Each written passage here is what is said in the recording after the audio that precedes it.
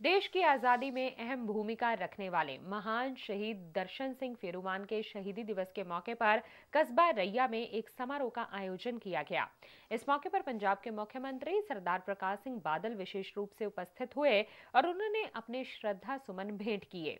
इस मौके पर उन्होंने शहीद दर्शन सिंह फेरूमान की जीवनी के बारे में बताया। इसी दौरान सरदार बादल ने यह भी बताया कि चंडीगढ़ व अन्य शहरों में पंजाबी भाषा बोली जाती है और उन्हें भी पंजाब के अंतर्गत करने हेतु वह केंद्र सरकार से बात कर रहे हैं। नतमस्तक होना, जिन्होंने एडे वे बहादुर कुर्बानी के पहुँच ਇੱਕ ਮਹਾਨ ਸ਼ਖਸੀਅਤ ਨੂੰ ਜਨਮ ਦਿੱਤਾ। ਪਰਿਵਾਰ ਨੇ ਅੱਜ ਸਾਰਾ ਜਿਹੜਾ ਸ਼ਹੀਦ ਪਰਿਵਾਰ ਵਾਸਤੇ ਹੀ ਹੈ ਪਿੰਡ ਨੂੰ ਜੋ ਕੁਛ ਆਖਿਆ ਬਾਕੀ ਫਿਰ ਮਾਨ ਸਾਹਿਬ ਬਹੁਤ ਵੱਡੇ ਸਾਨੂੰ।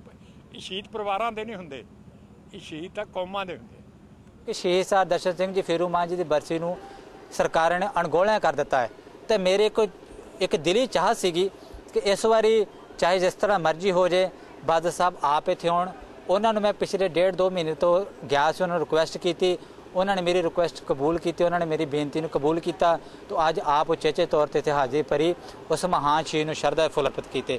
ਉਸ ਮਹਾਨ ਸ਼ਹੀਦ ਨੂੰ ਯਾਦ ਕਰੋ, ਕਿਉਂਕਿ ਇੱਕ ਨਾ ਇੱਕ ਦਿਨ ਤਾਂ ਸਮੁੱਚੇ ਅਸੀਂ ਇੱਕ ਦਿਨ ਮਾਰੀ ਜਾਣਾ ਅਸੀਂ ਸਾਡੇ ਤਾਨਣੇ ਨੇ ਉਹ ਯੋਧੇ ਤਾਨਣੇ ਨੇ ਉਹ ਸ਼ਹੀਦ, ਜਿਨ੍ਹਾਂ ਨੇ ਸਾਡੇ ਲਈ ਕੁਰਬਾਨੀਆਂ ਕੀਤੀਆਂ ਨੇ।